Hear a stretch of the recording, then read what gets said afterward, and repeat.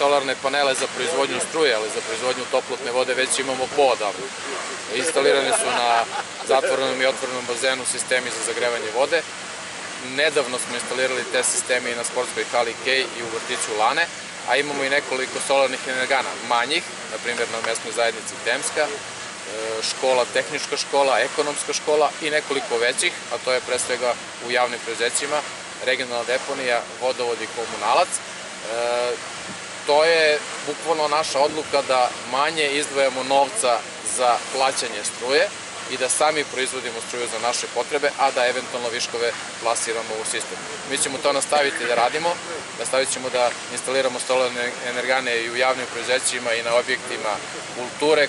Sledeća neka ideja je da na krovu Doma kulture, na krovu Doma vojske, na krovu zatvorenog bazena instaliramo solarne elektrane za proizvodnju struje.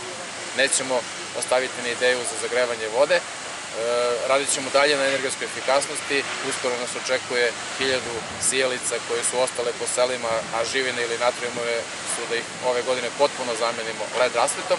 I evo samo na jednom potezu ću vam kazati koliko je ušteda između mosta kako ga mi zovemo prema izvoru, odnosno prelaza železničke pruge ka izvoru, dakle od tog prelaza do izvora se negde štedi u odnosu na prezamenu rasvete 75% električne energije za javne rasvete. Razgovaramo sa Fondacijom za otvoreno društvo da potpišemo jedan generalni ugovor sa njima o instaliranju novih malih solarnih elektrana, s obzirom da su oni veliki donatori, pre svega za škole i mesne zajednice.